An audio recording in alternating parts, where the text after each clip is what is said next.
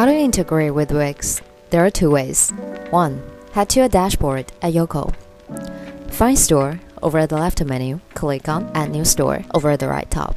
Scroll down a bit and you will see Wix. Connect. Now input your Wix store URL. But make sure you left out this part. Connect and authorize the app installation and done. 2.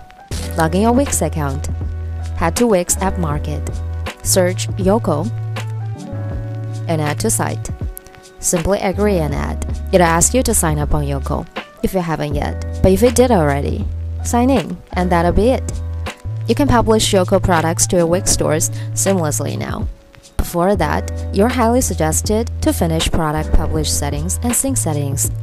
And this tutorial will walk you through the whole steps. Link down in description below.